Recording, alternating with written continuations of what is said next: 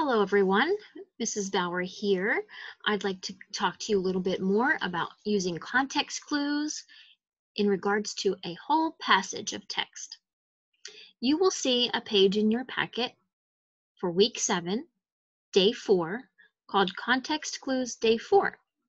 It has a passage called Ducks and Geese on it. The passage is to the right. The directions are below it and there are some boxes for you to fill in some information and then some lines for you to write out in a complete sentence for your answer. So for this page, we will be using context clues to make inferences to answer questions about a passage. Hmm, what's an inference? Well, an inference is what you see in the text, including the text features and any illustrations on the page, plus what you already know about the topic. And when you put those two things together and think about them together, you have made an inference. So let's read over the directions. The directions below the picture of the ducks and the geese says this. Read the passage. Use the boxes below to plan your answer to the following question. Then write your answer on the lines using complete sentences. Our focus question is this. Do ducks and geese like water? Why or why not? I bet you already have a lot of ideas in your heads about ducks and geese. We will need to use those, but we also have to use the words that the text is telling us. Maybe this text is trying to prove to us that ducks and geese do not like water. Let's read to see. Step one, read the passage. And you're going to be thinking our purpose for reading is to decide if ducks and geese like water or do they not like water. Okay, so the title is above the picture. It says ducks and geese. Should we skip the picture? Absolutely not. We need to study it for clues. Clues in the picture will help us figure out our answer. Let's read the words. Ducks and geese have wings. They also have feathers. Ducks and geese swim in lakes. They put their heads under the water. Then they grab plants below with their beaks. They live in many places. Do they live near you? Now, we can refer back to this passage when we think about finding clues. So we're going to think about our question. Do ducks and geese like water?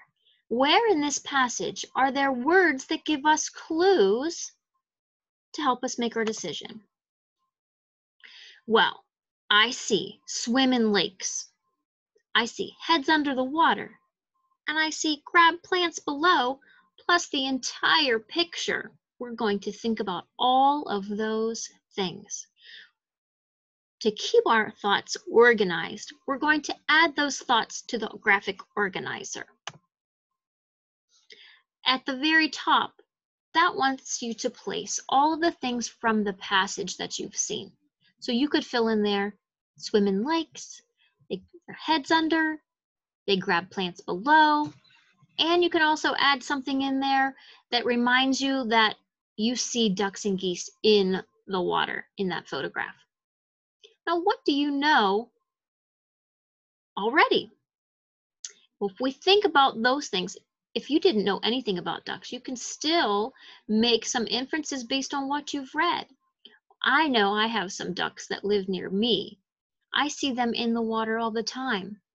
We also saw that in the photograph. We could put in there what you know. You know ducks are near water a lot. If you don't know anything about ducks or you haven't seen ducks in the wild, the passage gives us some clues. They grab plants below. Their food source is at the water. They stick their heads under there so that they can eat the plants and bugs below they put their heads under. If you did not like water, would you put your head underwater? If you did not like water, Would you even go near water? Hmm, they're using their beaks, they're putting their heads under, they're swimming in it. I'm coming to a conclusion. My inference is going to be that yes, ducks and geese like water. So after you have your boxes filled in to organize your thoughts, you'll use those boxes to form your sentences. You'll start at the top and go to the bottom. You will put your conclusion first. Let's start. Our question says, do ducks and geese like water? Why or why not? I remember from writing class that a good writer hooks their reader with some interesting words. Hmm, some interesting words from that passage and that picture. I'm going to choose splash, splash. That will catch the reader's attention. I'm going to then state my answer. It says, do ducks and geese like water? I need to repeat some of those words in my answer. I'm going to write, I know ducks and geese like water. Then I'm going to give at least one reason. I've listed all of the reasons. For your purposes at home, you will probably only have enough space to choose one good reason. So if you have included any of these reasons, that's all you need. My passage says, I know ducks and geese like water. First, the passage tells me they swim in lakes. Second, it says sometimes they put their heads under the water to grab plants.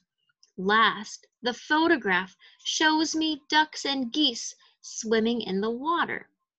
Those are things that I took directly from the text. Now I'm going to add my own thinking my inferencing. What do I know and what have I come to the conclusion in my own thinking? I'm thinking that if ducks and geese did not like water, they would stay away from it.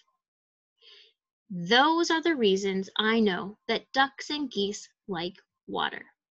Remember to use the words from the text and the illustrations and what you already know and what you can put those two things together to come up with a conclusion when you are making an inference. Use those context clues. Have fun, readers.